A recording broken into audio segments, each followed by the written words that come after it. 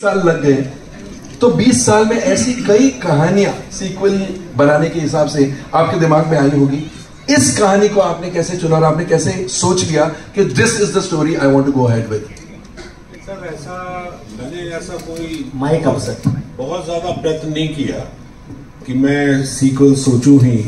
शर्मा जी मुझे हमेशा बोलते रहते थे इंस्पायर करते थे कि सोचिए सीक्वल मुझे सब लोग बोलते हैं। जहाँ भी जाता हूँ कि भाई क्यों नहीं बनाते हैं?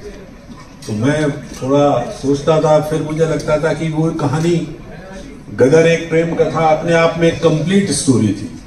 अगर मैं इसको छेड़ूँगा तो शायद इसकी लाज नहीं रहेगी। लाज रखने वाली बात थी। हाँ जी। और इसकी जो दिलों में लोगों के तारा सिंह सकीना जो परिवार बैठा हुआ है वो प्यार क्या हम अगली कहानी में दे पाएँगे? ऐसे कई सवाल मेरे मन में चलते थे। तो कि एक फ़िल्म करने के लिए फ़िल्म की जाए तो ना की जाए तो बहुत अच्छा। तो ऐसी बातें चलती रही चलती रही।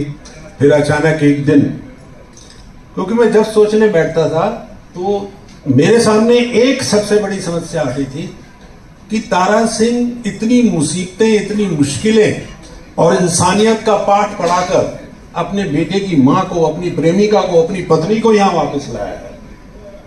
वो वापस पाकिस्तान क्यों जाएगा? पाकिस्तान कोई टूरिस्ट प्लेस नहीं है स्विट्जरलैंड नहीं है, कि घूमने जाएगा वो जाना ऐसा होना चाहिए कि एक आदमी ना बोले कि भाई, इनको तो जाना ही पड़ेगा। दरअसल वो बात मुझे जब समझ में आई तो मन मेरा आगे बढ़ा और मैं सोचने लगा।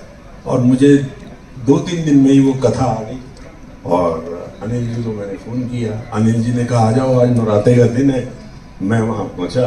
बाकी अनिल जी ने बताया आपको कि किस तरीके से सनी साहब को फ़ोन किया। सनी साहब के पास गए, उनको भी अच्छा लगा शरीक साहब को अच्छा लगा और बस फिर काम शुरू क्या बात है, क्या बात है। शारिक, फ़िल्म तो बन गई। इस फ़िल्म का प्रमोशन भी you all are aware of it बहुत ही निराला था। I think the promotion started with the release of Gadar Ek Prem Katha you know it was like a trailer